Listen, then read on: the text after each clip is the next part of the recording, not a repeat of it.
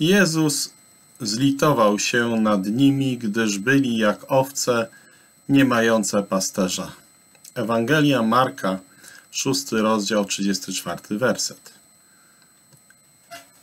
Takie słowa, żal mi Ciebie, mogą otworzyć oczy. W poczekalni dworca kolejowego siedział pewien ojciec ze swoją małą córeczką. Nagle weszło czterech policjantów, którzy prowadzili więźnia zakutego w kajdanki. Dziewczynka zaczęła mu się przyglądać ze zdziwieniem i przerażeniem. Po chwili jednak odważnie podbiegła do tego mężczyzny i wyszeptała kilka słów. On wlepił tylko w nią swój gniewny wzrok i dziecko uciekło z powrotem do swojego ojca. Nie trwało to jednak długo. Jak znów podeszła do więźnia i znów cichutko mu coś powiedziała i szybko pobiegła do taty. Zaraz potem nadjechał pociąg i poczekalnia opustoszała. Od tego dnia jednak coś się zmieniło w życiu więźnia. Potem opowiadał kapłanowi więziennemu, co go odmieniło.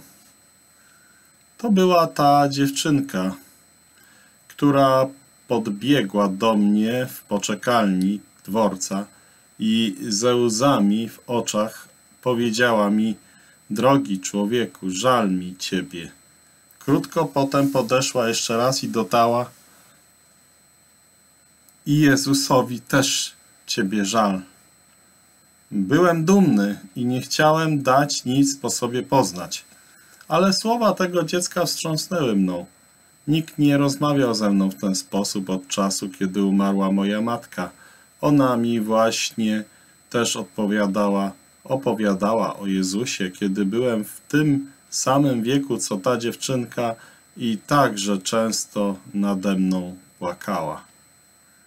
Postanowiłem szukać Boga mojej matki i nie znalazłem spokoju, dopóki go nie znalazłem. Teraz wiem, że Jezus za mnie umarł.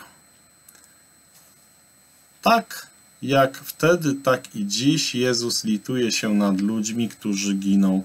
Dlatego opuścił niebo i przyszedł na ziemię i dlatego umarł na krzyżu. Przyszedłem bowiem, aby szukać i zbawić to, co zginęło. Ewangelia Łukasza, 19 rozdział, 10 werset.